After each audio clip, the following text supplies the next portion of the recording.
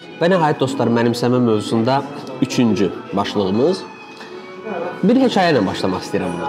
Başıma gələn bir hekayələr. 2013-cü ildə ilk dəfə mən İngiltərəyə gedəndə düşünürdüm ki, mən ingiliscəni çox mükəmməl bilirəm. Niyə görə? Çünki e, beynəlxalq e, imtahanlara daxil olmuşdum. Çox yüksək bal almışdım onlardan. İstər IELTS olsun, istər TOEFL olsun. Həmçinin də keçmiş indiki Bakı Mühəndisliyi Universitetində 5 il ingiliscə təhsil almışdım və düşünürdüm ki, məndə hər şey yaxşıdır. Lakin dostlar, İngiltərədə olduğum birinci gündə nəyisə düz getmədiyini müşahidə etməyə başladım. Nə idi bu? Mən sanki ingilis ilə danışanda ingilislər məni başa düşmürdü. Və həmçinin onlar danışanda mən onları başa düşmürdüm.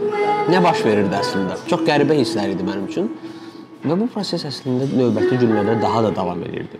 Və elə bir vəziyyət yetişdi ki, mən öz supervisorımdan soruşmağa başladım ki, nə baş verir? Nəyə görə mən ingilis dilində özümü rahat hiss edəcək, inamlı hiss edəcək şəkildə danışa bilmirəm? Və o məndən soruşdu ki, sən Azərbaycanda olarkən ingilis dilini nə şəkildə öyrənmisən?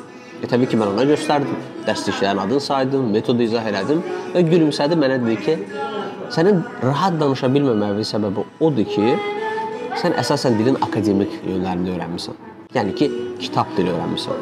Ona görə də necə deyirlər, cəmiyyətdə özünü inamlı hiss eləyəcək ingilis dilinə sahib olmaq istəyirsənsə, kitab dili yox, daha rahat dili öyrənməlisən. Bu da nə şəkildə öyrənə bilərik dostlar? Hekayələrlə başla dedi. Uşaq hekayələri ilə. Daha sonra podkastlar, daha sonra kinolar. Yəni ki, belə deyək ki, bir dil daşıyıcısı nələrə baxırsa, nələrdən öyrənirsə, sən də onlara baxıb öyrənməlisən dostlar. Və həqiqətən də bu metod işə yaradı. Mən onun dediklərini elədim, düzdür. Kifayət qədər zaman aldı. Amma sonunda artıq mən də ingilis dilində özümü rahat və inamlı hiss edəcək səviyyədə danışmağa başladım. Fikir versiniz dostlar. Yəni bunu mən niyə deyirəm? Yəni mənim İngiltərəyə gedənə qədər ingilis dili üzərində o çalışdığım o az qala 5 ildən çox bir müddət əslində dil mənimsəməsi yox, dil öyrənilməsi prosesi idi. Və onun hesabına bəli mən universitetdə çox uğurlu oxudum, yazılar yazırdım, oxuyurdum, başa düşürdüm, amma o öyrənmək idi. Mənə normal həyatda necə deyirlər, universitetdən kənar həyatımda yardım etmirdi o dil. Nə mənim yardıma çatdı? Real ingilis dili. Ona görə dostlar, səbirli olmaq lazımdır. Mənimsəmə prosesi öyrənmədən fərqli olaraq bir qədər gec baş verir.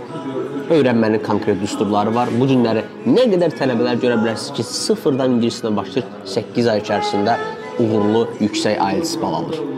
Amma mən əminəm ki, o insanlar özlərini ingilis dilində çox rahat hiss edəcək səviyyədə hələ də danışa bilirlər. Çünki rahatlıq yalnız mənimsəməklə gəlir. Hər birinizə uğurlar olsun. Növbəti serial videolarımızda görüşənədək. Sağ olun.